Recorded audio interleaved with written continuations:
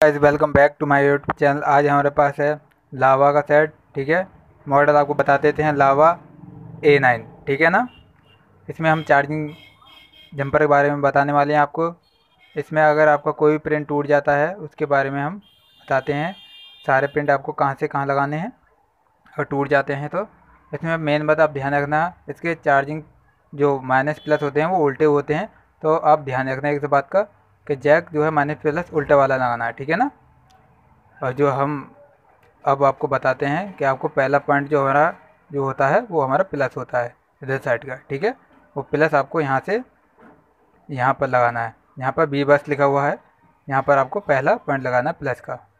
और दूसरा जो होता है हमारा, वो होता है डी एम ठीक है? वो वाला पॉइंट आपको बिल्कुल बीचों बीच लगाना है यहाँ पर, ठीक है ना? और तीसरा जो पॉइंट है हमारा, वो हमारा डीपी होता है, ठीक है ना?